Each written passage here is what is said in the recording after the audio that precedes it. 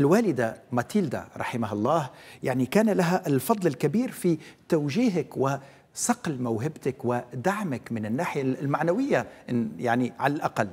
كثيرا. هذه الأم لها الفضل الأول والأخير بالحقيقة. على ما أنت عليه اليوم. إيه وإلا ما كنت نعم. وصلت لعندك لو من أمي. نعم. على البرنامج.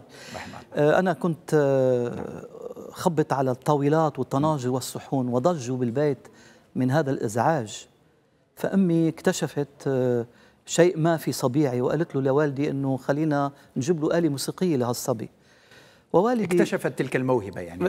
يعني نعم. هي بلحظتها نعم. شافت إشياء ما بعرف شو شافت؟ هذه الأم هذه وهي كانت سعيدة بذلك. طبعا يعني وهي يعني حرضت نعم. حرضت والدي على أن أن يشتري ليعود. آلة آلة وجابوا لي عود من الشام بعد متذكر وكان هو ثمنه رخيص لأنه ممكن كان كمنجة بركي ممكن كان آلة ثاني قانون. من ولكن أسواق الشام القديمة ربما. إيه من نعم.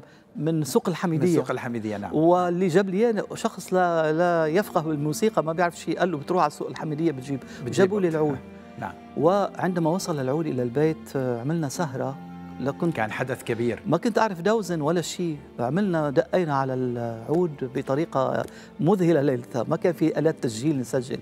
أمي كان لها الدور الأكبر ولكن أمي ماتت قبل الأغنية وماتت قبل الموسيقى وماتت قبل القصيدة.